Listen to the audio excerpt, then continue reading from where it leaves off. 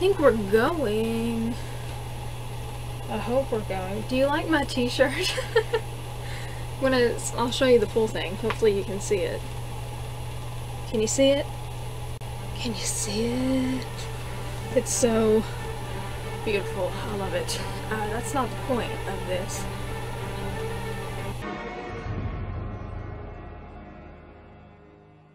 I'm just going to dive right in and I'm also going to assume that if you are watching this that you've already read the previous issue and or all the other issues or something like so I'm just going to assume that you already know what has happened in the previous issue just to save on time so I don't have to go through all that again.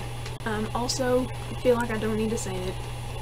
Obviously going to be like a spoiler-ish video issue 141. Now, the cover alone of this issue was enough to make me fall over dead. If you know anything about me, you probably know why. Uh, it starts off with Rick and Heath coming back from a supply run, um, and then an arrow shoots through the air. Lo and behold, it is Dwight in all his two-faced glory. Harvey Dent has come to pick up supplies, him and the Saviors because um, they are still giving them supplies. And but he pulls Rick aside and talks to him and says, you know, I don't like being the leader. I, it's not, it's not what I thought, and it's it's a lot more difficult, and I don't like it. And then he asks Rick if he will name a new leader for the Saviors. Obviously, the previous leader is locked up in jail. Someone had to take over. Dwight did and but he doesn't want to do it anymore. So he asks Rick to assign a new leader, and Rick's like, no, uh, that's not my job.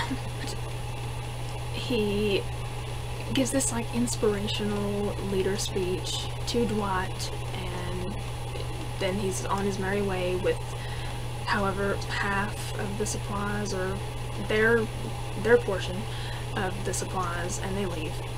Immediately, Heath is like bashing them but I mean, who wouldn't if they did what they did to you? You know, of course, I don't blame them for that. They're not good people. and then we see Rick go to Andrea, do the little kissy thing, and then they are reading, they're talking about stuff, asking how things are going, about the fair and whatnot, because there's fairs in the apocalypse. Just when you think it would never happen. They're kind of talking about that, and then he goes to check on Negan. So he goes down into the little jail basement thing, and once he gets down there, Negan is laid back with his feet up with the door wide open, and Rick, of course, has an aneurysm. You know, to start off, Negan's like doing what he always does, you know, saying, making his mean jokes, calling Rick a grandpa, which Rick really, it has not gone well for him. It, the apocalypse has been bad for Rick Grimes. And then he starts saying all this stuff about trust, you know, I stayed in here, I did not leave, even though I could have, and wreak havoc. You know, I stayed in the cell, give me credit where credit's due, you know, that all that stuff that Negan does. And then I, when I first saw the cover, I thought that Negan was gonna get out. He doesn't. Uh, Rick just slams that door and is like, nope, I don't trust you and I never will, and all this stuff, and he locks him back up. And then as Rick is leaving, he's, you know, Negan spewing that stuff again. But I do think that there's a bit of truth to what Negan says, like there always is. Um, but he basically says, you know, you don't keep me locked up in here because you didn't want to kill me. You do it because I'm the one person, you know, alive that makes you look like a good person. When Rick was down there beforehand, before he starts to leave, he spews all this stuff about how, you know, Rick has done whatever he needed to do to protect his people. Why does why should Negan be labeled a bad person for doing the same thing? And there's like, you know, when you, when you put it like that, you kind of think, oh, well, he's kind of kind of right. I like to think of Negan and Rick as like the Joker and Batman. That that relationship. That's how I see those two. But Rick just kind of ignores I don't think that he can really ignore it. I think that Negan really does get under his skin. I think that the things that Negan was saying really gets under his skin. Uh, so then he goes, and Rosita and Eugene are having a baby. Yay! You know, but good for them, Rosita and Eugene. I love those two, and it's weird that they're together though. I feel like, I don't know.